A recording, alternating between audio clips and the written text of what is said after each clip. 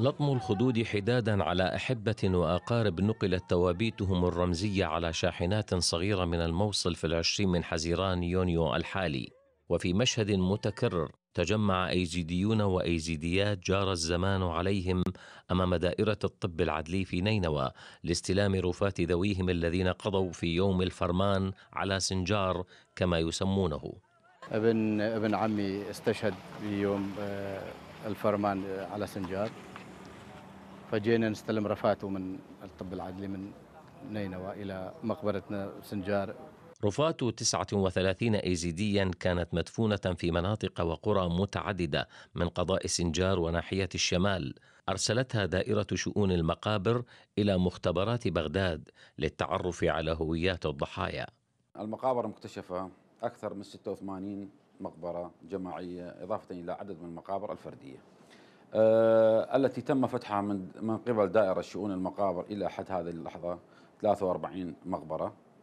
آه، هذه 43 مقبرة تم إخراج 626 آه، شخص مخدور تم فحصها عن طريق دائرة الطب العدلي في بغداد.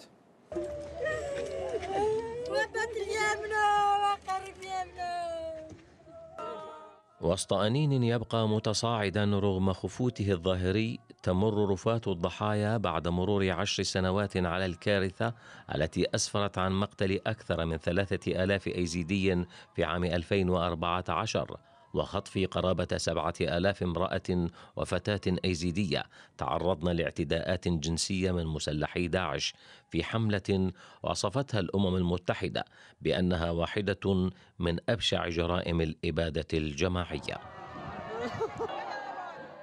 وينضم إلينا من النجف الخبير في مجال حقوق الإنسان الدكتور فاضل الغراوي. دكتور فاضل أرحب بك معنا إلى هذه النشرة. يعني بحسب وزارة الهجرة والمهاجرين عاد نازحون من مخيمات دهوك إلى مناطقهم في سنجار. هل البنى التحتية مهيئة ومؤمنة؟ وماذا عن الناحية الأمنية في سنجار؟ نعم مساء الخير زينة تحياتي لك ولكل المشاهدين الكرام. آه، قد يكون هذا العدد الأول الذي اتجه إلى موضوع العودة إلى آه، موضوع سنجار وخصوصا ما زال الالاف من النازحين ما زالوا في مخيمات أغلب هذه المخيمات في اقليم كردستان. آه، ما زالت لحد الآن البنى التحتية في آه، ناحية سنجار آه، وقضاء سنجار أغلبها متهالكه كم هائل أيضا من الدور ما زالت لحد الآن لم يتم إعمارها خصوصا الدور التي تعود إلى النازحين والتي دمرتها عصابات داعش الإرهابية بعمليات جماعية. بذات الوقت أيضا ما زالت هناك الحاجة الماسة إلى موضوعات الخدمات والطرق والمواصلات وكل ما يتعلق بالحياة الإنسانية إذا لماذا و... عادوا بحسب الوزارة العودة هي عودة طوعية؟ يعني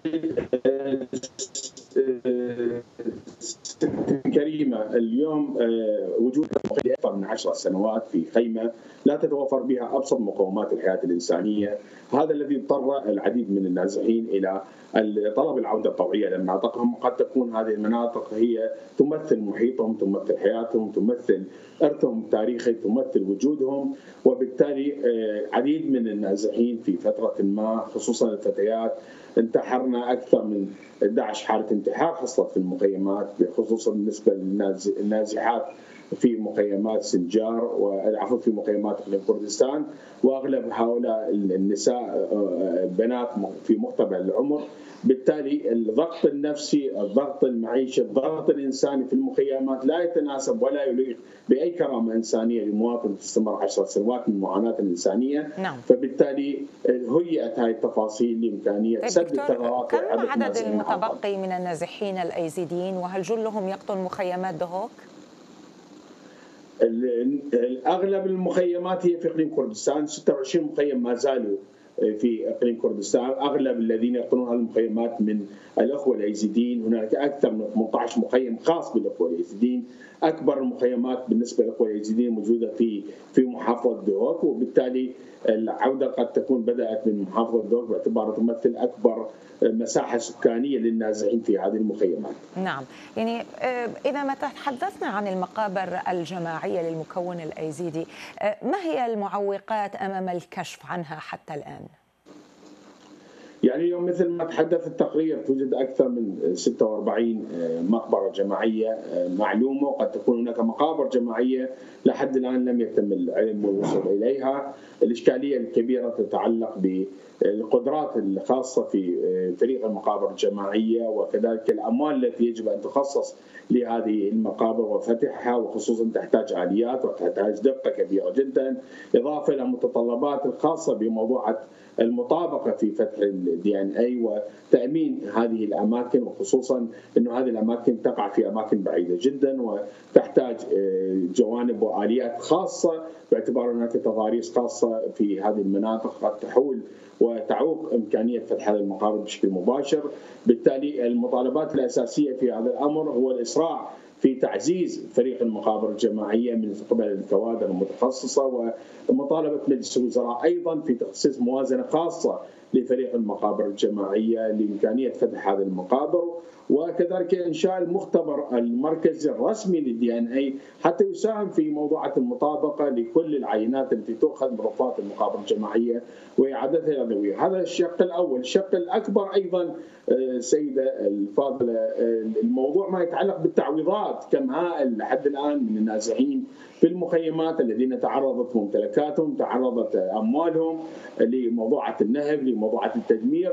لم يتم ترويج أو إكمال متطلبات تعويضهم بشكل مباشر وهذا يمثل أيضا أحد العوائق الأساسية في موضوع تأمين متطلبات العودة التطوعيه بالنسبة للنازحين من قضاء سنجار.